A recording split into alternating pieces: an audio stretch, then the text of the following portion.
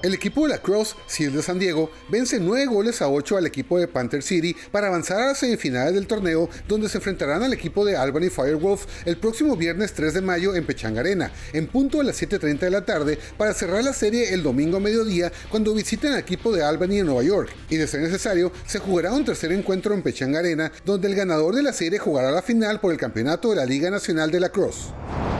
San Diego Legend, quienes vienen de perder de visitantes 33 puntos a 0 contra el equipo de Houston, suman su segunda derrota consecutiva para bajar al tercer lugar de la tabla de la Conferencia Oeste con 5 juegos ganados y 3 perdidos. La directiva del equipo lanza la invitación a los aficionados de rugby en ambas Californias para asistir al estadio Snapdragon el próximo 5 de mayo cuando Legend reciba al equipo de Dallas Jackals, donde previo al partido se realizarán diferentes actividades familiares.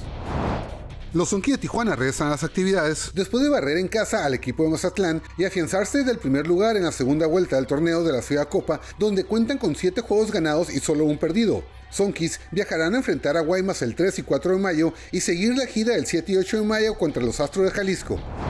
La directiva de Cholos anunció el término del contrato que tenía el entrenador Miguel Herrera hasta 2026, dado que no pudo concretar la tan mencionada revolución del equipo y terminó el actual torneo con solo dos juegos ganados, ocho empates y siete perdidos para concretar el peor fracaso como entrenador en su carrera. El equipo fronterizo se encuentra en busca de entrenador y ya suenan algunos nombres para la nueva reestructuración del equipo para enfrentar el siguiente torneo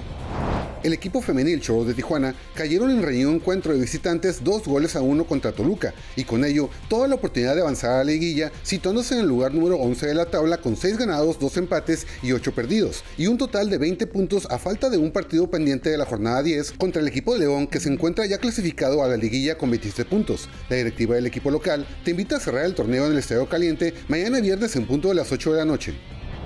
pues tenemos que ser muy profesionales y cerrar eh, con, la mejor cara. La verdad es que eh, definitivamente los puntos ya no servirán para calificar, pero la esencia de este equipo es luchar hasta el final y, tenemos un compromiso con León y tenemos que buscar sacar los tres puntos en casa, cerrar el torneo y después volver a reinventarnos.